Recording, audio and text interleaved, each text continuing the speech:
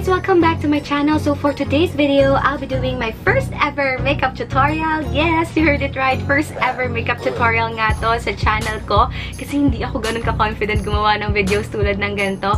But if you want to know how I did this look, and kung gusto nyo malaman yung mga ginamit kong Miniso products, just keep on watching!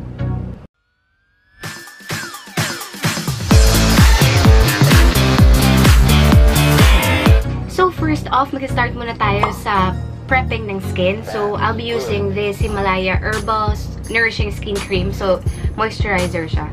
I-apply mo lang siya sa skin.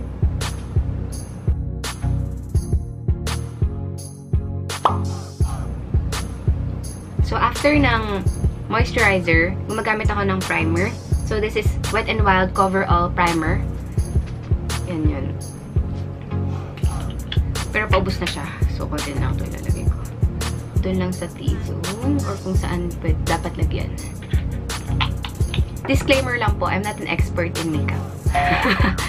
Kahit ako ngayon, nilalearn ko pa kung paano ang tamang pag-apply ng makeup. So, kapag sa work, hindi naman ako nag-a-apply ng sobrang daming makeup. Kaya hindi ako ganun na-practice.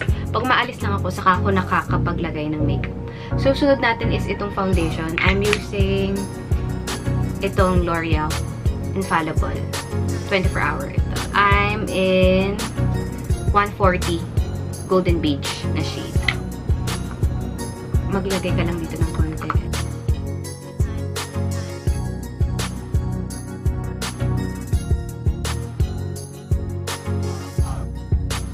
For today's look, gagamit tayo ng concealer. Uh, ang ginagamit kong concealer is itong Wet n Wild Cover All Liquid Concealer. So, ito siya. Paubos na rin to.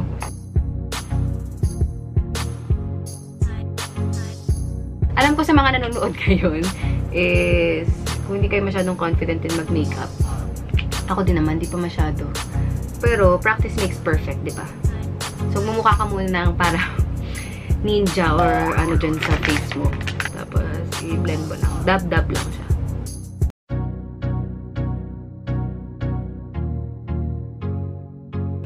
Isi-set na natin yung makeup. Ginagamit kong brush itong nabili ko sa Miniso na para siyang Real Techniques. Ang gamit ko palang powder, ay nakalimutan ko. Tignan mo. Itong Airspun. Usong-uso to. Nakikita ko kasi siya sa mga YouTubers gumagamit sila ng Airspun. So, loose face powder. Translucent to. Nabili ko to sa Pilipinas pa.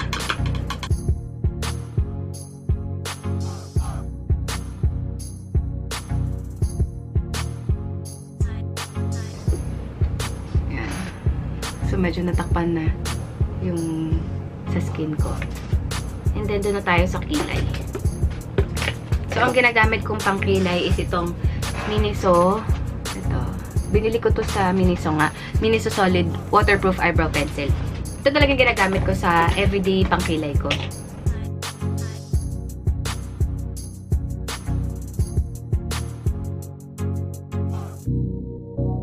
I-blend ko lang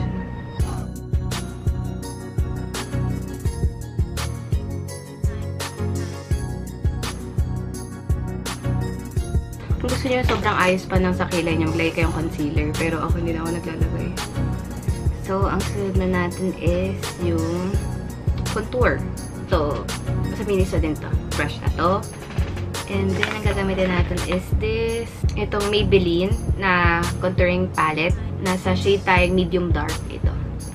So, ang maganda dito is meron siyang highlighter, saka meron na siyang pang contour, and meron na siyang brush ito pwede din siyang gamitin. Tapos may salamin na rin siya.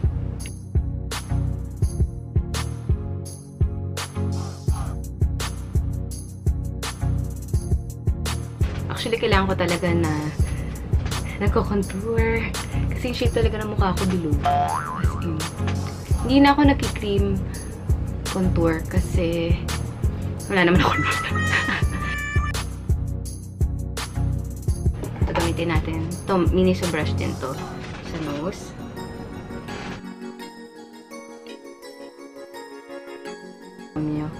Ang pag-makeup talaga is art and kailangan mo ng patience. Kailangan artistic ka rin sa mga ganyan. Kasi parang nagpipaint ng face, di ba? So, ito yung gagamitin natin itong 3C eyeshadow palette na color niya is pink. Nabili ko to sa Miniso. Okay, ang gamit natin muna itong pink. Kasi ito, binigyan ka na ng idea kung anong gagamitin mo sa pag-makeup. So, pink muna. Ito na lang palang brush na ito ang gamitin natin. Lagay natin itong ito parang dark na to sa crease.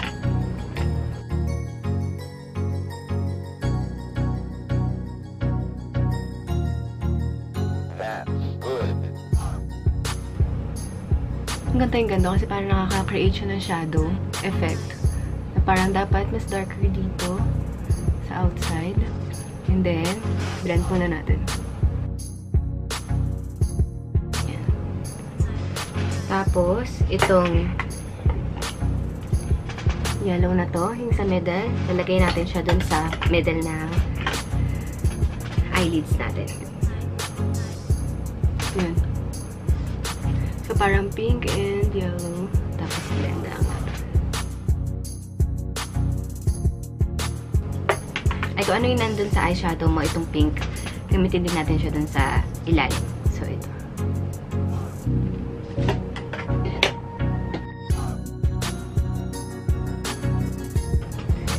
Gawin ko muna ito yung sa kabila.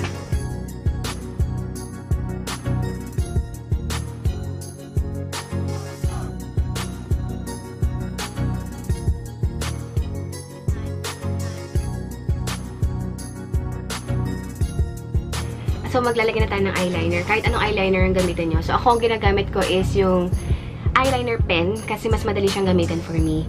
So, depende lang yun sa atin kung paano natin siya gagamitin o kung saan tayo mas convenient.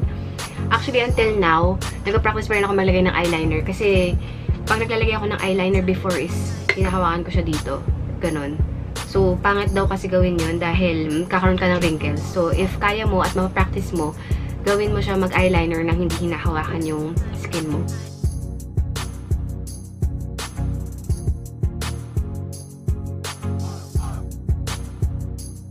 So, ito, first time ko ito try gamitin itong Miniso False Eyelashes. So, lahat pala ng ginamit ko almost Miniso siya. So, ito yung lash glue and then ito yung lashes. So, lagay ko lang siya. So, nalagay ko na yung false eyelashes ko. Now, I'll be using my mascara.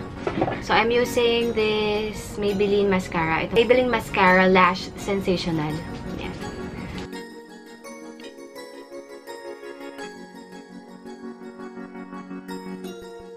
Tapos, itong yellow na to, yung sa middle, eyeshadow, lagay nyo lang dun sa inner duct.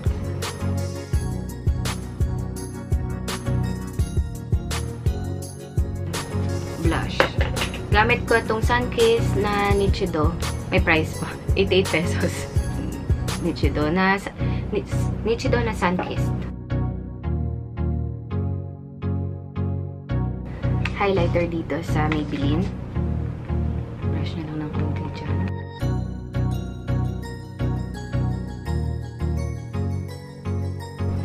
Yun na. So, sa look na to, gagamitin ko yung color pop na shade niya is Bumble. Bago ka maglagay ng liquid lipstick na to, kasi itong color pop nakaka-dry siya. So, maglagay muna tayo ng pang-moisturize. So, gagamit tayo ng lip balm. Let's apply mo lang siya sa lips mo.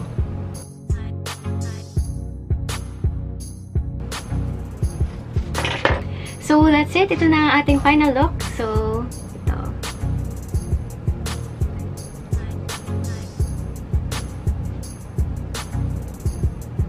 So, if you like this video, just hit the thumbs up button and comment down below if meron kayong mga requests kung ano pang gusto nyong look na gawin ko. And kung meron pa kayong requests like challenges o kahit ano, comment down below din. And please subscribe to my channel kung di pa kayo nakaka-subscribe. So, thank you so much for watching. Until my next video. Bye-bye!